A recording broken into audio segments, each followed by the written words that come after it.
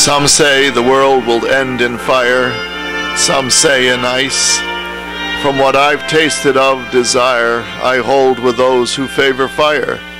But if it had to perish twice, I think I know enough of hate to say that for destruction, ice is also great and would suffice. Well, I have a special treat for my subscribers today. I am celebrating my fifth year on YouTube. And I have with me my brother, James Tapley. Great to have you here, Jim. And he is an artist in his own right, and he has done a lot of wonderful paintings. And especially today, he's going to talk about a painting about the end times called Apocalypse Today. So, Jim, take it away. It's all yours. Thank you. Several years ago, when Andres Serrano did his sculpture for the Brooklyn Museum of Christ on the cross submerged in a vial of urine, I was prompted to react in the opposite direction. Previously, I had done landscapes and portraits, still life paintings, but then I decided to do religious work. And behind me is one of the largest paintings I've ever done, and it's called Apocalypse Today. And so in the winter of about 10 years ago, I started this painting, and it took me the entire winter to do. And I want you to know that I was very much inspired, and I went to work every day, and Christ had my hands. So let's look at this painting, and I'll try to tell you what was in my mind, and I hope you'll understand it also. In this painting, we will start with the background, the far upper parts. It is divided into four separate sections, but the back part is divided up into several buildings which at the end of the world will be destroyed. Man's creations will be will fall down. And it's divided up into, as I said, four sections, and there is a moon in each one, and that color inside the moon represents the colors that are in the background of the four sections. Now we come down further, and I have the four separate races. First, the uh, Native American, the next, the white Caucasian male, the African, and the Asian. In the last segment, you see Christ on the cross, and he is dying for our sins, for all these sins. He is our Savior. Now, if we proceed further down, the title of this painting is, as I said earlier, Apocalypse Today. And the apocalypse always pertains to the four horsemen of the apocalypse. I decided to make it more modern by putting females on the horses and nude. Um, and each one of these, the black horse, which indicates famine, the white horse, which indicates pestilence, the red horse, which indicates war, and the last horse, the gray horse or pale horse, indicates death. Albrecht Dürer is also one of the great paint, painters and etchers, and you probably might be more familiar with that particular piece of work. Very well done, beautiful piece. At the bottom, we have a perspective going up the floor is meant to look like a tile and leads up actually to these people here. And here are the seven, what I consider mo- modern deadly sins. Let's start with the first one. The first one is abortion. The second one is pedophilia. The third one is pornography. The fourth one is Satanism. The fifth one is homosexuality. The sixth one is feminism. And the last one is paganism. Let me explain what each one of these is doing. They are vomiting their sin into separate seven, seven uh, different vials. And in these vials represents their sin. They're vomiting their sin. In this, you see an aborted child with blood. In this one, you see a child which is crying because of what this man has done to her or him. In this one, you have pornography, and we have a female that is being submerged in water and actually dying.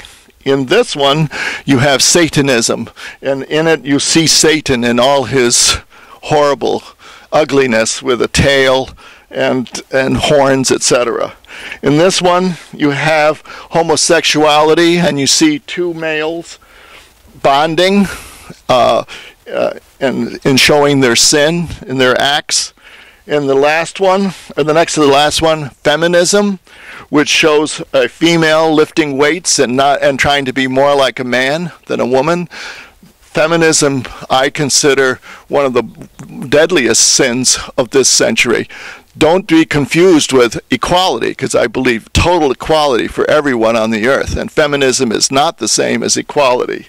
And the last one is um, paganism, and I symbolize that with body piercings. And in the bottom, the person has a necklace, and into the vial is a crystal.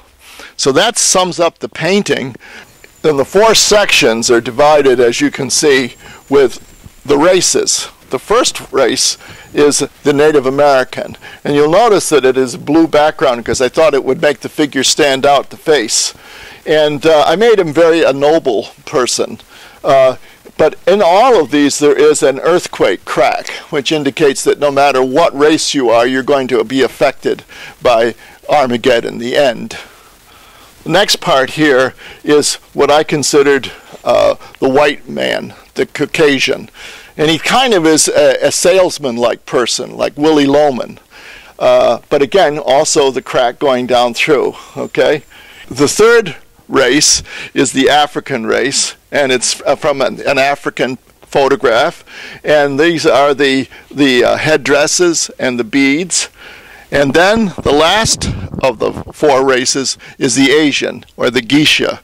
And I wanted those to be all shown. In all cases, I tried to connect this section with them by having their outfits go down into this section. It was just the beads going down into here in this particular one it's just his his boutonniere and in here the hair goes down it was meant to tie in the top part of the painting with the middle section of the painting and i saw that the lamb had opened one of the seven seals.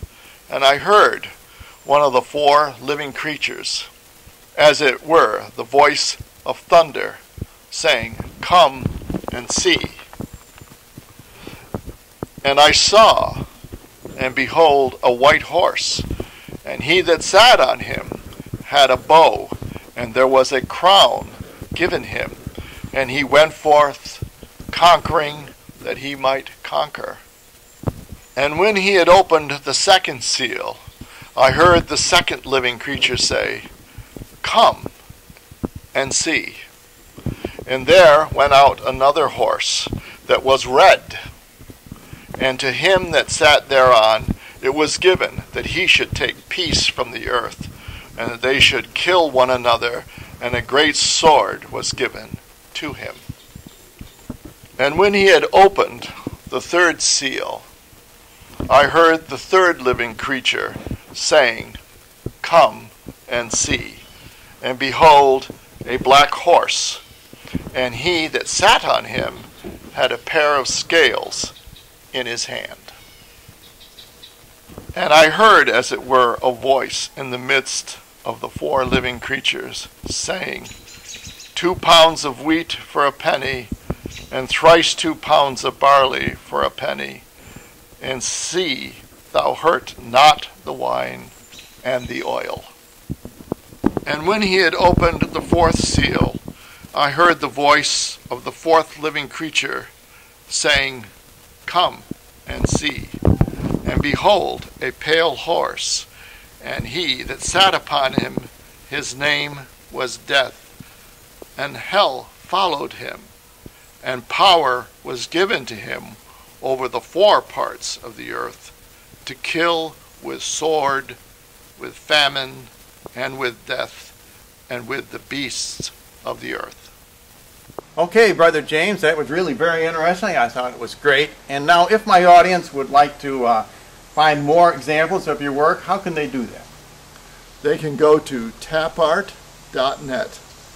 and you will see at least 50 or 60 of my paintings and drawings.